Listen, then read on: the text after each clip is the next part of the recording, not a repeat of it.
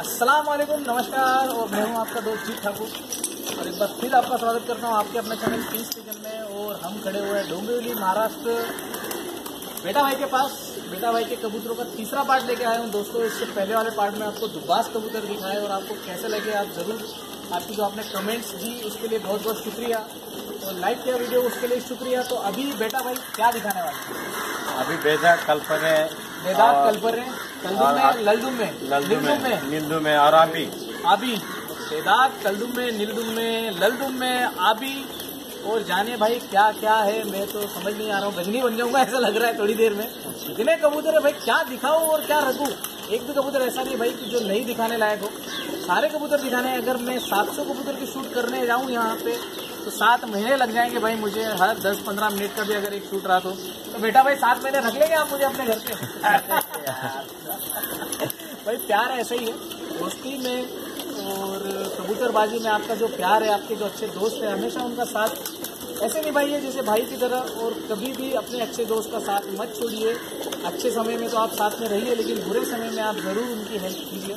सही बात है कि नहीं बेटा भाई? बराबर। बुरे वक्त में काम आना चाहिए आपके लिए तो भाई दिखाना आप स्टार्ट करते हैं आपको ब्रीडिंग वाले पेयर्स तो स्टार्ट करते हैं कल्दू पेड़ तो भाई ये है संभल वाले कल्दुमों का फ़र्स्ट पेयर तो आपको सबसे पहले तो जोड़ा दिखा देते हैं हम पास से। ये देखिए जोड़ा।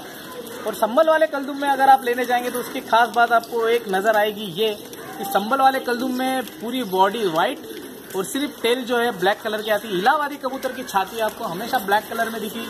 जितने भी इलाहाबादी कल्दुम में आपको दिखाए होंगे, मैंने तो देखी उनकी छाती पे आपको काले कलर के जो बाल है, ज़रूर दिखते हैं। लेकिन संभल वाले कबूतरों का सबसे इम्पोर्टेंस होता है साइज़ तो देखिए नर की साइज़ आप देखेंगे तो बहुत बड़ी है। और मादी जो है साइज़ में थोड़ी छोटी है। इस तरह का अगर आप जोड़ा बनाएँगे तो बच्चे जो आएँगे, इनके मीडियम साइज़ में आएँगे और बहुत अच्छे उड़ान करने वाले मिलेंगे। और एक नए भाई हमारे साथ जुड़ गए। भाई, आपका नाम? संदीप।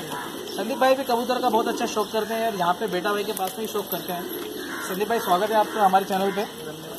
और ये देखिए भाई, ये है संबल वाला कलदुमा कबूतर। और भाई, बहुत सारे लोगों को संबल वाले देखने थे। भाई, देख लीजिए संबल वाले। ये संबल वाले कलदुम में और इनकी उड़ान तो बेतहाशा होती है। आ, बेटा भाई आपने उड़ाया ये कबूतर संभल वाले भाई ये उड़ा हुआ कबूतर है अपने पास। कितनी देर तक उड़ा? अपने पास चार घंटा उड़ा उड़ा हुआ है चार घंटे तक ये कबूतर उड़ा हुआ है इसके पंख भी दिखा देता हूँ। और हेमंत भाई थोड़ा सामने आ जाइए आप भी। हेमंत भाई क्या कहना है आपका इन कबूतरों के बारे में? कलदुम में कबूतर आपको पसंद है मैंने सुना है बहुत पसंद है। क्या उसका रीजन है कुछ खास? रीजन तो है ही उनका कबूतर बहुत अच्छे उड़ते गर्मी में बहुत अच्छे रिज़ल्ट है इनका कबूतर का। ओके और भाई इसी भाई को बोला ये कबूतर उड़ा के बोला इसको कचरी मार दे बोला इसके बच्चे निकाल दे नहीं तो बाद में लेके जाएगा तो ऐसा कबूतर आप सही बात है भाई एक बार देंगे खत्म हो गई तो आपको कुछ नहीं मिलेगा। झाड़ जड़ से कट गया तो आपको कुछ नहीं मिलने वाला है। हाँ आपके पास अगर पत्ते हैं तो पत्ते कितने टूट जाए? अगर जड़ सलामत बोलते हैं तो पत्ते हज़ार मिल जाएँगे। तो आप जड़ को सलामत रखिए भाई। तो ये है संबल वाले कलदुम में की काली पूछ। ये देखिए और ये भी देख लीजिए भाई। और ये देख लीजिए इसके पंजे। क्या बात है। और दादी बारी आ जाती है मालिन की। तो ये है इसकी मादिन इसकी सबसे पहले पूछ दिखा देता हूँ। ये देखिए, छोटी पूछ, और ये देख लीजिए इसके पंजे। और आ जाते हैं इसके पंखों पे तो ये देखिए इसके मिले हुए पंख आपको दिखाने की कोशिश कर रहा हूँ। ये देखिए, क्या बात है। और ये देख लीजिए इसकी आइज़ जो कि धूप अभी नहीं है, लेकिन तब भी इसकी आँख देखिए कितनी चमक रही है। और बाहर की तरफ़ है इसकी आँख, सिर इसका चपटा है, चोच इसकी ब्लैक है, और पंजे भी लगभग ब्राउनिश है। और अब जोड़ा आपको एक बार। ये देखिए नर। और भाई, बारी आ जाती है कब कलदुम में तो देख लिए भाई, अब ये देख लीजिए आप ललदुम में। जो रेड रेड टेल के कबूतर जिनको बोलते हैं ललदुम में लल परे, वो है ये कबूतर। तो बारी आती है नर की सबसे पहले। ये देख लीजिए नर के पंजे, ये देखिए पंजे, और ये देख लीजिए पूछ, जो कि बिल्कुल बंद है, ये देखिए, ये पंजे, ये पूछ। अब दिखा देता हूँ इसके पंख। ये देखिए इसके पंख, जो कि अभी आ रहे हैं। तो बेटा भाई इनको पंख दिए हैं नए उड़ाने का इनको आपका विचार है इनको उड़ाएँगे आप? इनको उड़ाने के इरादे में नहीं डालना तो आपने तो इनको पंख दे दिया तो उड़ेंगे नहीं है तो ब्रीडिंग पे रख दिया अच्छा अभी ब्रीडिंग पे रखा हुआ है। ओके और एक बार आपको केज की भी सेटिंग में बता दूँगा अंदर से कि बेटा भाई की केज की जो सेटिंग है वो कैसी है? अब आ जाते हैं इसकी वाइट कलर की जो आईज है उसको देख लीजिए आप और मज़े लीजिए भाई और कमेंट्स अगर आप नहीं करेंगे भाई तो मज़े नहीं आएँगे मुझे भी। कमेंट्स आप कीजिए। जितने आप कमेंट्स करेंगे उतना मैं अपने आप में सुधार और लाने की कोशिश करूँगा। पंख देख लिया आपने? बारी आती है भाई मादी की सेकंड जोड़ पकड़ा तो भर बेटा दूसरी जोड़ पकड़ा तो और ये देखिए ये देखिए ये मादी। ये है मादी की वाइट आइस और वाइट चोच गुलाबी चोच वाइट आइस सॉरी और ये है ललपरी। ये देखिए भाई चार जो पाँच पंख है, शाही पंख, वो है लाल कलर में, गोल्डन कलर में। और इसकी पूंछ देख लीजिए, ये देखिए। और ये देखिए, इसके पंजे।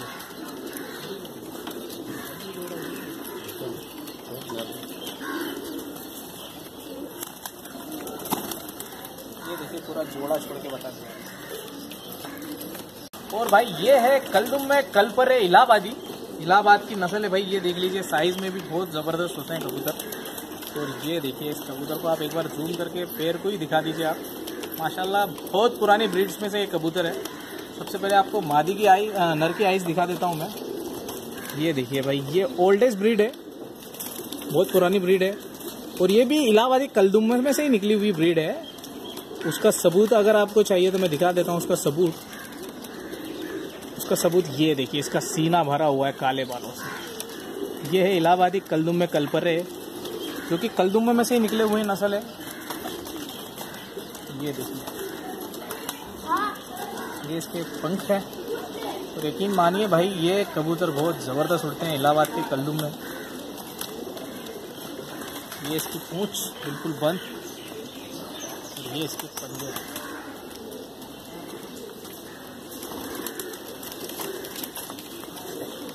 नेक्स्ट जोड़। नेक्स्ट जोड़। हेमंत नेक्स्ट जोड़ और ये देखिए भाई इसकी मादी। क्या बात।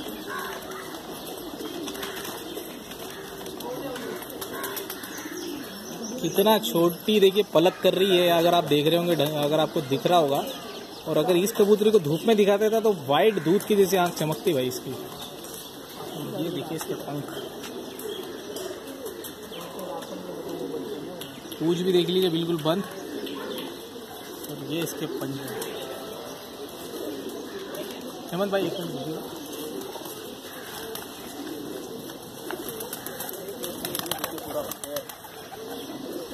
और भाई, जहाँ बात आ गई नीलदुमे कलदुमे की, अब ये एक डिफरेंट कलर में आपको कबूतर दिखा रहा हूँ। ये है आबी।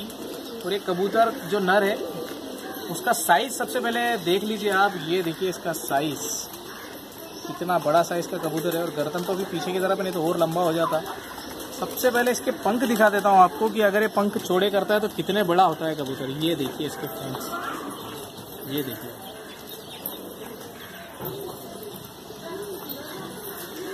और मेरे हाथ में भी नहीं आ रहा है तो ढंग से भाई। इसकी आईज देख लीजिए आप। भाई, ये भी ओल्डेस्ट ब्रीड है। ये देखिए।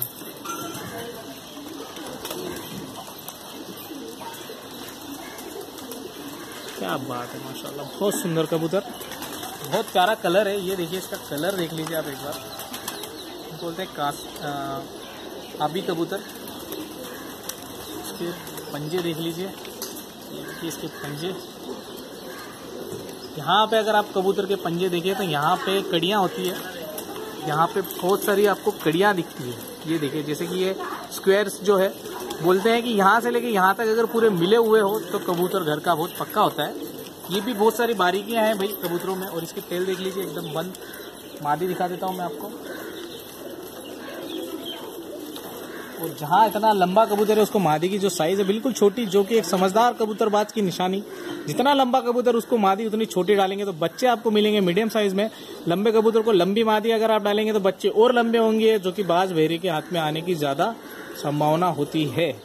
तो भाई, ज़्यादा बड़ा नर हो तो छोटी मादी लगाइए, ताकि बच्चे उनके मीडियम साइज़ में निकले और मज़े आए भाई। मादी के पंख, पूछ देख लीजिए, अभी से बंद कर रखी पूछ और ये देख लीजिए इसके पंजे खुरदुरे पंजे होना चाहिए। ऐसा अगर आप रैप करें तो आपको महसूस होना चाहिए खुरदुरापन। तो आपको समझ में आ जाएगा कि हाँ और एकदम स्लिप हो रहे हैं पंजे, एकदम नरमी से अगर कबूतर के हाथ पंजे आपके यहाँ से निकल जा रहे हैं, आपका उंगली गुजर जा रही है उसके से तो कबूतर के जो पंजा है, वो मुलायम पंजे बोलते हैं। तो आपको अब इनकी एक बार नर दिखा देता हूँ, छोड़ के ये देखिए नर और ये मादी देख लीजिए। नर का साइज़ देख लीजिए। ज़बरदस्त नील दुम्बे कबूतर, जो कि इलाहाबाद के बहुत फ़ेमस कबूतरों में से आते हैं नील दुम्बे कबूतर भी।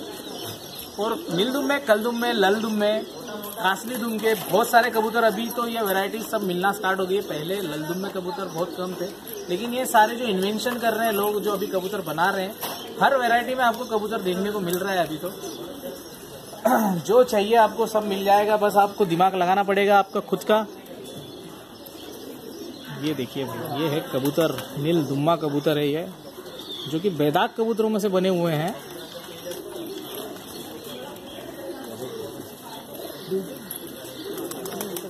ये इसके पंख।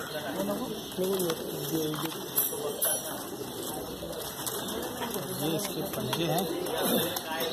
और ये देखिए, इसकी दुम, नील दुम्बे क्यों बोलते हैं उनको, ये देखिए। ब्लैक कलर का इनको आपको कॉर्नर दिखेगा, उसके बाद में व्हाइट होते हुए आ रहा है तो थोड़ा स्काई ब्लू कलर का आ जाता है ये। इसके लिए इनको नीलदुम्बे कहा जाता है। और इसकी मादी जो है, बेटा भाई ने कबूतरों के जो पैर सेट किए हुए हैं, वो इतने ज़बरदस्त सेट किए हुए हैं कि माशाल्लाह बोलने की ज़रूरत नहीं है। कमी निकाले कहाँ भाई, सब कुछ एक नंबर एक नंबर की चीज़ें हैं, सब कुछ। ये देखिए, मादी की साइज़ कितनी छोटी मादी है, ये देखिए। बेटा भाई क्या है रिकॉर्ड इनका कबूतरों का? कितनी देर तक तो उड़े हुए हैं? भाई ये जो कबूतर है ना मेरा शाम शाम तक उड़ा हुआ ये कबूतर। शाम तक उड़ा हुआ है? शाम तक उड़ा हुआ कबूतर। कबूतर इससे पहले जो आपको दिखा है शाम मैं इसको गमाना नहीं चाहता हूँ। जी। ये जो मेरा जो चीज़ है ये जो ब्लड लाइन जो मेरा है ये खास ब्लड लाइन है मेरा। इनके बच्चे उड़ाए हैं आपने इनके बच्चे उड़ाए बच्चों में भी वही बात है वही बात माँ बाप में है। उड़ते हैं उतनी देर तक। इनके बच्चे वही क्या बात है भाई तो उसकी मादी देख लीजिए आप। कितने साल की होगी ये मादी ये लगभग कम से कम चार साल हो गए इनको। चार साल की। और कहाँ से लाए हुए आपने ये ये मैंने बॉम्बे से लाया था। अच्छा मुंबई से ही खरीदे हुए बॉम्बे से खरीदा। ओके। ये भी देख लीजिए भाई नीलदुम्बी क्यों है? ये देखिए इसकी नर से ज़्यादा नीलदुम्बी है मादी एक्चुअली नर के जो कोरे हैं थोड़े ब्लैक है इसके हल्के ब्लैक है। और ये देख लीजिए इसके पंजे।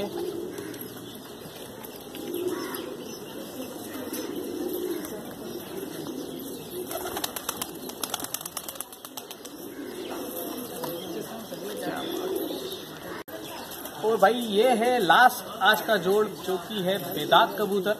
और मादी जो है, वो है ब्लैक कलर के रिंग्स में, और नर जो है, वो है व्हाइट कलर के रिंग्स में। रिंग्स का मतलब होती है पलके। अगर आप पलकों की बात करें तो ये नर जो है, ये बेदाग, इसकी जो पलके हैं, वो भी व्हाइट कलर में है। देखिए व्हाइट चोच व्हाइट पलके। लेकिन मादी की अगर आप बात करें तो व्हाइट चोच है, लेकिन पलके काले आ गई तो कबूतरी की आँखों का जो बैकग्राउंड है, वो चेंज हो गया। ये सारी बारीकियाँ आपको समझना बहुत ज़रूरी है, मेरे भाइयों।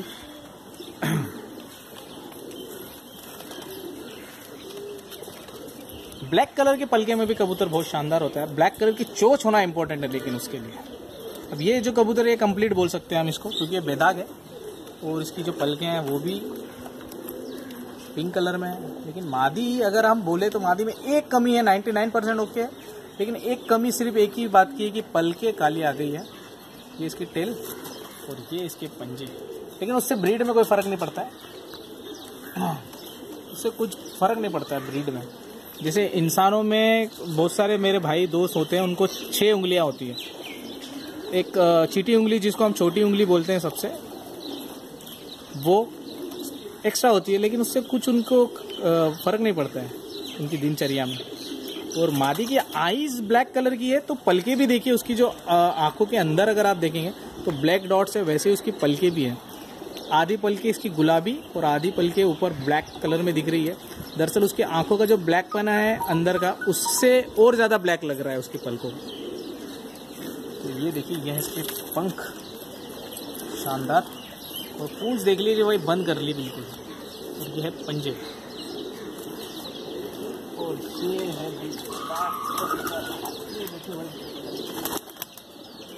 ये देखिए इससे पहले जो दुब्बाज दिखाए थे, वो भी दिख रहे हैं, आपको बाजू में बैठे हुए। और ये है पैर। कैसा लगे आपको ये कलदुम में, ललदुम में, कल पर बेदाग? और बाकी जो आबी कबूतर दिखाए आपको, कैसे लगे आप ज़रूर बताइएगा, आपकी कमेंट ज़रूर दीजिएगा। मिलते हैं थर्ड पार्ट में। फ़र्स्ट सेकेंड और थर्ड तो यही था शायद। फोर्थ पार्ट में मिलेंगे आपसे वापस में। जब तक के लिए अपना ख्याल रखिए, अपने फैमिली का ख्याल रखिए, अंधविश्वास। और अफवाहों पे बिल्कुल भी भरोसा मत कीजिए। अपने दिल की सुनिए, यही बोलना चाहूँगा। मिलते हैं नेक्स्ट वीडियो में। जब तक के लिए अपने दोस्त जीत ठाकुर को इजाज़त दीजिए। देखते रहिए किंग्स पिजन को। जय हिंद, जय भारत, जय महाराष्ट्र।